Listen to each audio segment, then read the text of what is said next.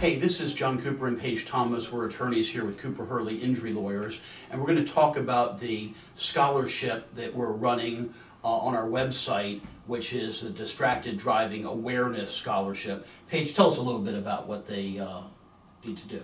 So what you do is go on our website, www.cooperhurley.com, and you will find the application there.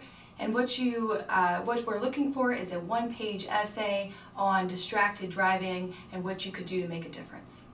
Yeah, these partial scholarships are intended for Tidewater and Eastern Shore high school students to give them a little bit of money toward uh, college, and um, it's really you know every little bit helps, and it's not that hard as far as the uh, young people out there. It's really pretty easy. So you know, go to our website and uh, get the directions. I think July one is the deadline. So I'm a proud alumni of both Norfolk Academy and First Colonial High School in Virginia Beach. Paige, where did you go to high school? I went to Maury High School here in Norfolk, Virginia.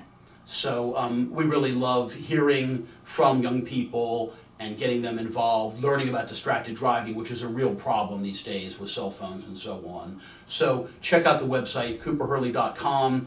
And um, you know, if you're a young person, fill out the form. Uh, if you're a parent, please ask your child to go check it out, and hopefully, uh, it'll be some money to help them to be able to have a great college experience.